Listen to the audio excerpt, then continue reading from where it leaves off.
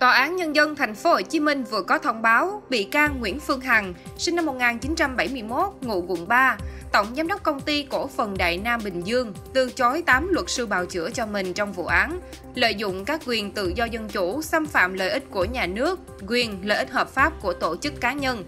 Từ đơn từ chối 8 luật sư bào chữa của bị can Hằng, Tòa án Nhân dân thành phố Hồ Chí Minh đã ra văn bản thông báo cho 8 luật sư liên quan. Như vậy, bị can Nguyễn Phương Hằng hiện chỉ còn luật sư Hồ Nguyên Lễ tham gia bào chữa. Sau 2 tuần xét xử, chiều ngày 24 tháng 5, Tòa án Nhân dân tỉnh An Giang đã tuyên phạt 62 bị cáo trong đường dây đánh bạc và tổ chức đánh bạc gần 1.000 tỷ đồng, tổng cộng trên 187 năm tù. Đây là vụ án gây rúng động dư luận do Đại tá Đinh Văn Nơi, hiện là Giám đốc Công an tỉnh Quảng Ninh, trực tiếp chỉ đạo triệt phá khi còn là Giám đốc Công an tỉnh An Giang. Sau khi nghị án, Hội đồng xét xử đã tuyên phạt các bị cáo Nguyễn Thị Thủy Liên 10 năm tù, Huỳnh Sĩ Nguyên 10 năm tù, Dương Văn Hoàng 8 năm 6 tháng tù và Lương Kim Khá 6 năm 3 tháng tù. Còn 12 bị cáo khác bị tuyên phạt 5 tháng tù, 31 bị cáo bị tuyên phạt 3 năm tù, các bị cáo còn lại bị phạt 1 năm tù, trong đó có nhiều bị cáo được hưởng án treo. Theo cáo trạng, tháng 5 năm 2021, Cơ quan Cảnh sát điều tra Công an tỉnh An Giang nhận nguồn tin tố giác tội phạm về hành vi đánh bạc, tổ chức đánh bạc do Nguyễn Thị Thủy Liên, 57 tuổi, Dương Văn Hoàng, 64 tuổi và La Thị Hồng Yến, 50 tuổi, cùng ngụ tại tỉnh An Giang, thực hiện bằng hình thức mua lô đề có quy mô lớn, thu hút nhiều đối tượng trên địa bàn tỉnh tham gia. Kết quả điều tra xác định tổng số tiền Nguyễn Thị Thủy Liên cùng đồng bọn xác nhận đánh bạc với nhau là trên 966 tỷ đồng thông qua giao dịch ngân hàng, trong đó xác định phơi số lô đề gần 408 tỷ đồng. Ngày 22 tháng 5, Văn phòng Ủy ban nhân dân thành phố Hồ Chí Minh phát hành công văn số 4875 trên VB NCBC gửi Giám đốc Sở Tài nguyên Môi trường, Giám đốc Sở Tư pháp thành phố Hồ Chí Minh cho biết, Ủy ban nhân dân thành phố đã nhận được công văn số 2031 trên C01 B4 ngày 9 tháng 5 năm 2023 của Văn phòng Cơ quan Cảnh sát điều tra Bộ Công an về việc hủy bỏ tạm ngừng giao dịch tài sản đảm bảo hoạt động bình thường của các công ty liên quan đến Phan Văn Anh Vũ, tức Vũ Nhôm.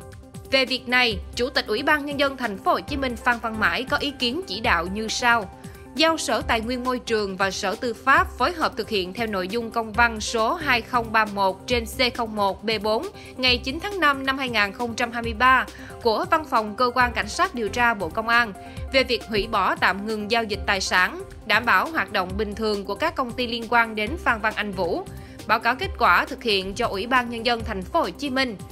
Trước đó, ngày 4 tháng 4 năm 2023, Văn phòng Cơ quan Cảnh sát điều tra Bộ Công an C01 nhận được đơn của Công ty Cổ phần Xây dựng 79, Công ty Cổ phần Xây dựng Bắc Nam 79, Công ty Trách nhiệm hữu hạn IVC, Công ty Cổ phần Nhất Gia Phúc đề nghị hủy bỏ tạm dừng các giao dịch tài sản, phong tỏa tài khoản ngân hàng để đảm bảo hoạt động bình thường của doanh nghiệp tại thành phố Hồ Chí Minh.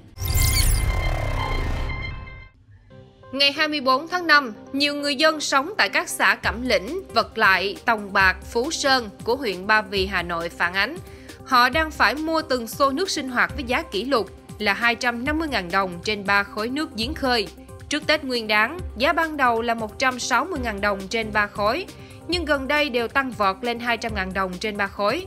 Không những mua giá cao mà họ còn phải đặt hàng trước 1 đến 3 ngày mới có nước. Nguyên nhân khát nước nghiêm trọng là do hiện nay, nhiều xã ở huyện Ba Vì vẫn đang phải dùng nước giếng khơi hoặc khoan mà chưa có nước máy. Bỗng năm nay đại hạn có đến 99% giếng khơi của người dân không còn giọt nước. Ông Trần Văn Khánh, Chủ tịch Ủy ban Nhân dân xã Cẩm Lĩnh cho biết, ước tính đang có 1 phần 3 tương đương hơn 1.000 hộ dân của xã Cẩm Lĩnh bị thiếu nước sinh hoạt. Theo ông Khánh, muốn có nước máy, cần phải đấu nối nguồn với nhà máy nước sạch sông Đà ở xã Phú Sơn bên cạnh, nhưng chưa đấu nối. Đồng thời Ba Vì cũng là huyện nằm kê sát nhà máy nước sạch sông Đà của Vinaconex ở xã Thịnh Minh, thành phố Hòa Bình, tỉnh Hòa Bình. Nhà máy này đang cấp nước cho hầu hết khu vực phía Tây Hà Nội. Như vậy, hiện nay nhiều xã ở Ba Vì đang nằm giữa hai công trình cấp nước rất quy mô, nhưng lại không hề có nước máy, mà vẫn phải sống dựa hoàn toàn nguồn giếng khơi, giếng khoan, bể chứa nước mưa.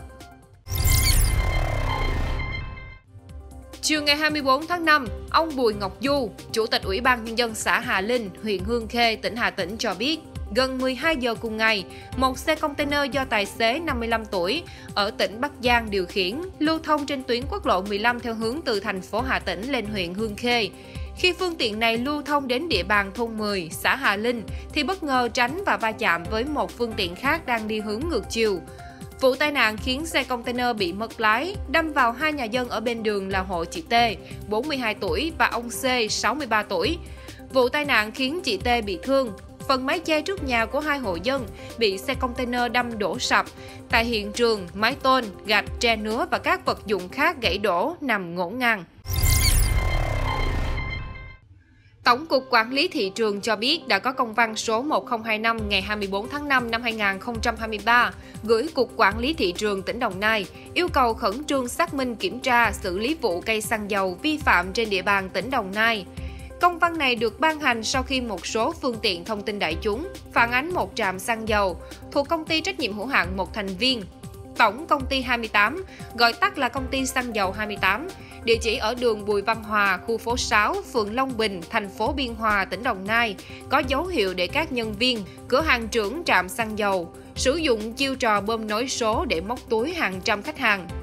Ban giám đốc công ty xăng dầu 28 đã đình chỉ công tác đối với trạm trưởng và trạm phó của cửa hàng này, đồng thời cử một người thay thế. Các nhân viên cây xăng này cũng thừa nhận có việc bơm xăng nối số, không trả về không khi bơm xăng cho khách hàng.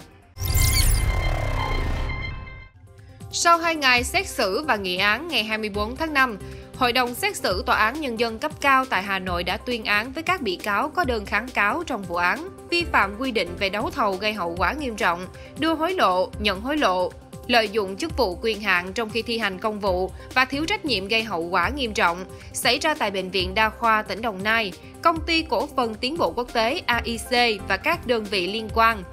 Theo đó, xử phạt bị cáo Phan Huy Anh Vũ, cựu giám đốc Bệnh viện Đa khoa tỉnh Đồng Nai 7 năm tù về tội vi phạm quy định về đấu thầu gây hậu quả nghiêm trọng và 9 năm tù về tội nhận hối lộ. Tổng hợp hình phạt buộc bị cáo phải chấp hành chung cho hai tội là 16 năm tù, giảm 3 năm tù so với án sơ thẩm. Sáng ngày 24 tháng 5, cơ quan cảnh sát điều tra công an huyện Hương Sơn, tỉnh Hà Tĩnh vừa ra quyết định khởi tố vụ án khởi tố bị can và ra lệnh tạm giam đối với 4 đối tượng, gồm Nguyễn Thành Hưng, 36 tuổi, trú phường Hà Huy Tập, thành phố Vinh, tỉnh Nghệ An, Võ Quang Dũng, 31 tuổi, trú xã Đức Thành, huyện Yên Thành, tỉnh Nghệ An, Nguyễn Đăng Khoa, 33 tuổi, trú xã Nghĩa Phúc, huyện Tân Kỳ, tỉnh Nghệ An, về hành vi tổ chức sử dụng trái phép chất ma túy và Lê Tuấn Vũ, 30 tuổi, trú thị trấn Tây Sơn, huyện Hương Sơn, tỉnh Hà Tĩnh, về hành vi vận chuyển trái phép chất ma túy. Trước đó, lúc 1 giờ 30 phút ngày 17 tháng 5, Công an huyện Hương Sơn phối hợp với Công an các xã thị trấn đột kích phòng VIP 999 quán karaoke thuộc tổ dân phố 4 thị trấn Tây Sơn, huyện Hương Sơn. Có nhiều đối tượng đang sử dụng trái phép chất ma túy, trong đó có Hưng, Dũng và Khoa.